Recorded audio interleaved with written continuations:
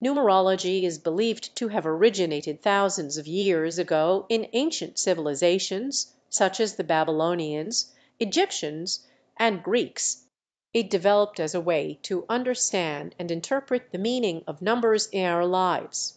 The early scholars observed that numbers appeared repeatedly in the natural world and found correlations between numbers and various aspects of life, including personality traits, events and patterns. Over time people started to see numbers as symbols that hold deeper significance. They developed systems and theories about how numbers influence our lives, personalities and destinies. Numerology became a method for divination, self discovery and gaining insight into our potential, strengths and weaknesses.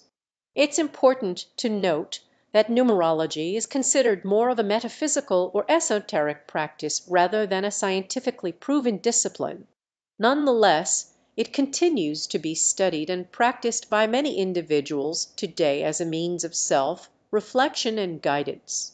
Prompt